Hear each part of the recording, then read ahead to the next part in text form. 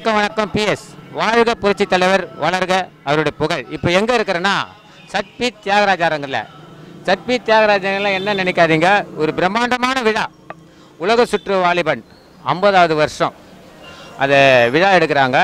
இந்த படம் தான் வந்து சவுத் இண்டிய ஃபிலிம்ஸ்லேயே வந்து ரெக்கார்ட் பிரேக்கை ஒடிச்சிது இன்னைக்கு கோடிக்கணக்கில் வந்து ஆயிரத்தி ஐநூறு கோடி வசூல் எடுத்தது. நானூற்றி ஐம்பது கோடி வசூல் தான். இது அப்போவே எடுத்தது. அப்போ டிக்கெட்டு விலையே வந்து நாற்பது பைசா. அதை கம்பல் பண்ணி பார்த்தா இன்றைக்கி அது ஆயிரத்தி ஐநூறு கோடி அது. இன்றைக்கி அந்த மார்க்கெட் ரேட்டு பார்த்தா ஆயிரத்தி ஐநூறு கோடி. அப்படிப்பட்ட படம் பிரம்மாண்டமான படம் ஒருங்கிணைப்பு சார்பாக தமிழ்நாட்டிலேருந்து மொத்த அமைப்பு பக்தரும் வந்திருக்காங்க. இதில் முக்கியமான ஒரு நபரை நான் சந்திக்கிறேன். அவர் புரட்சித் தலைவர் தீவிர பக்தர். நூற்றி முப்பத்தி ஆறு படத்தை அக்கு வேறு ஆணி வேற க்ளீனாக சொல்லுவார். அதை பற்றி மாற்று கருத்தே கிடையாது. நான் அவர்கிட்ட முதல்ல நான் போகிறேன் இங்கே பக்தர்லாம் இருக்கிறாங்க. எல்லாம் வெளியூர்லேருந்து சென்னையிலேருந்து எல்லாம் சுற்றுப்பட்ட வட்டாரத்தில் எல்லாமே வந்துருக்குறாங்க.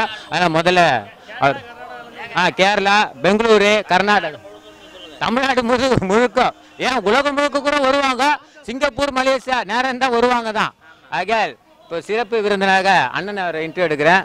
அண்ணா நான் முதல்ல உங்களுக்கு ஸ்டார்ட் பண்ணுறேன் இந்த படத்தை வந்து ஒரு திமுகவுக்கு ஒரு சவாலாக இருந்த படம் நினைக்கிறேன். கரெக்டுங்களா ஏன்னா நான் சின்ன வயசுன்றதால சில உங்களை மாதிரி ஆளுங்களை நான் தெரிஞ்சுக்கினேன். இந்த விஷயம் வந்து இப்போ சொல்கிறது தான் தருணம்னு நினைக்கிறேன். ஏன்னா இது படம் இது. இது அரசியல் கிடையாது இது. ஆனால் அப்போ வந்து அரசியலும் இருந்தது இந்த படத்தில்.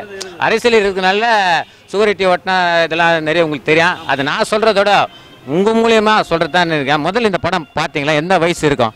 அதாவது இந்த படம் நான் பார்க்கும்போது எனக்கு முப்பத்தேழு வயசு. முப்பத்தேழு வயசு. இந்த படம் ரிலீஸ் ஆகிற அன்னைக்கு பதினொன்று அஞ்சு எழுபத்தி மூணில் ரிலீஸ் ஆச்சு. அந்த அன்னைக்கு இந்த படம் ரிலீஸ் ஆகும்போது நான் காலையில் ஷோவுக்கு திருநெல்வேலியில் எனக்கு வந்து நே- அப்போ வந்து ஒருங்கிணைந்த திருநெல் திருநெல்வேலி மாவட்டமாக இருந்தது. இப்போ தூத்துக்குடி மாவட்டத்தில் இருக்கேன். அந்த திருநெல்வேலியில் சென்ட்ரல் தேட்டருக்கு காலையில் நாலு மணிக்கு வந்து நிற்கிறேன் ஃபஸ்ட்டு இப்போ மார்னிங் ஷோவுக்கு டிக்கெட் கிடைக்கல. மேட்னி ஷோவுக்கு நிற்கிறேன் கவுண்டரில் டிக்கெட் கிடைக்கல. செகண்ட் ஷோ மேட்னி ஃபர்ஸ்ட் ஷோவுக்கு நிற்கிறேன் செ- கிடைக்கல. செகண்ட் ஷோவுக்கு நாலு ரூபா அறுபது பைசா டிக்கெட்டு நூறுரூவாய்க்கு விற்றுக்கிட்டு இருக்கு. இருபத்தஞ்சு மடங்கு. அதே நேரத்தில் அவன்கிட்ட குறைஞ்ச டிக்கெட் ஏதாவது இருக்கா கேட்க எனக்கு சம்பளமே எனக்கு இரநூறு தான். என் கையில் இருக்கிறது வீட்டிலேருந்து கொண்டு வந்ததே பன்னிரெண்டு ரூபா தான். நாற்பது பைசா தான் டிக்கெட் அதனால் பன்னிரெண்டு ரூபா தான் கொண்டு வந்தேன். ஆனால் அந்த கடைசியில் அந்த நாற்பது பைசா டிக்கெட் அவர் ஒன்று வச்சிருந்தார். அவர் பத்து ரூபா சொன்னார். அவர்கிட்ட ரொம்ப கெஞ்சி கூத்தாடி கடைசியில் ஏழு ரூபாய்க்கு அந்த டிக்கெட்டை வாங்கினேன். அந்த டிக்கெட் இன்னைக்கு வரைக்கும் பத்திரமா கையில் வச்சிருக்கேன். எத்தனை வந்திருக்காங்க டிக்கெட்டு டிக்கெட் வச்சிருக்கேன். அதனால இந்த படம் வந்து நான் செகண்ட் ஷோ தான் பார்த்தேன். அன்னைக்கு ஃபர்ஸ்ட் டே செகண்ட் ஷோ பார்த்தேன். அதுக்கப்புறம் மறுநாள் என்னுடைய அங்கே போலீஸ் பாதுகாப்பு தேட்டரில் முத நாள் இல்லை. மறுநாள் தேட்டர் ஓனருக்கு வந்து ஐஜி தெரியும். அதனால் அவங்கள்ட்ட சொல்லி எக்ஸ்ட்ராவா போலீஸ் படையெல்லாம் கொண்டு வந்தாங்க. அதில் என்னுடைய நண்பர் வந்திருந்தார். மறுநாள் மூணு ஷோவுக்கு எனக்கு டிக்கெட் அவர் உள்ளேருந்து எடுத்து வந்தார் நான் போய் மூணு ஷோவும் திரும்ப அடுத்த நாளும் பார்த்தேன். தொடர்ச்சியாக இது இன்னைக்கு வரைக்கும் நான் இரநூத்தி அறுபத்தி ஏழு தடவை இந்த படத்தை பார்த்துருக்கேன். இரநூத்தி அறுபத்தி ஏழு தடவை உலகம் சுற்றுவாளியின் படத்தை நான் பார்த்துருக்கேன். ஏங்க அது படமே வந்து இரநூத்தி ஐம்பது நாள் மேலே ஓடிக்குது. நீங்கள் இரநூத்தி அவ்வளோ பார்த்தோன்னா பெரிய ஆச்சரியமான அந்த டிக்கெட்டை கொஞ்சம் காட்டுங்க. பார்க்கலாம். ஏன்னா மக்களுக்கு தெரியப்படுத்துங்க. ஏன்னா இது மூலியமாவது நான் ஒரு கருத்தை இங்கே சொல்லலான்னுக்கிறேன். ஒன்றும் அர்ஜென்ட் இல்லை.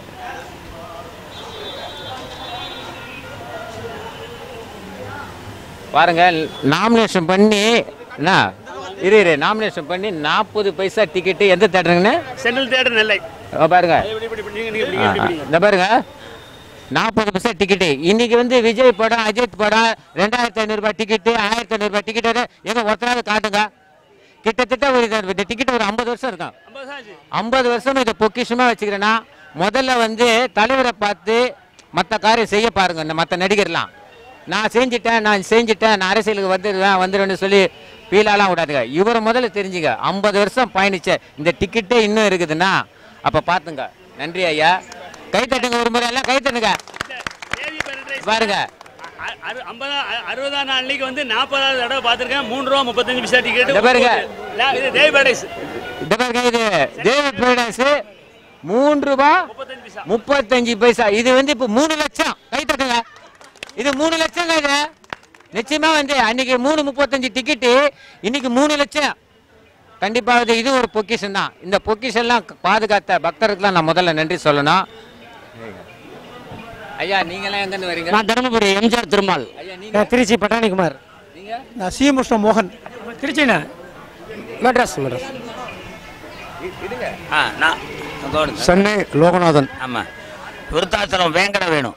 லல்டீஸ் தயானந்த் கோயம்புத்தூர் பெரியநாயகி திண்டுக்கல் வீரையன் திண்டுக்கல் வீரையன்?